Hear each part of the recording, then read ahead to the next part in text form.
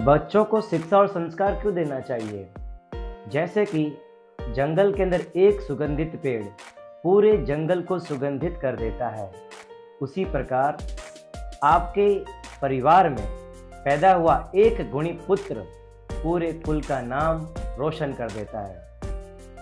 दूसरा, अगर एक पेड़ में जंगल में आग लग गई है ना एक पेड़ से लगी आग पूरे जंगल को जलाकर भस्म कर देती है। उसी प्रकार उच्च परिवार के अंदर और आपके श्रेष्ठ कुल के अंदर जन्मा एक अवगुणी पुत्र पूरे परिवार को कलंकित कर देता है। आपकी एक गलत आदत आपके जीवन के लिए विषाप बन जाती है। इसीलिए आप अपने बच्चों को धन के महत्व के साथ में उनको शिक्षा और संस्कार का महत्व सिखाएँ, क्योंकि शिक्षा और संस्कार होगी ना तो ऐसे कई संपूर्ण दोबारा हासिल कर सकते हैं। इसी प्रकार के मोटिवेशनल और इंस्पिरेशनल वीडियो के लिए चैनल को लाइक करें शेयर करें सब्सक्राइब करना ना भूलें। जय हिंद, जय भारत।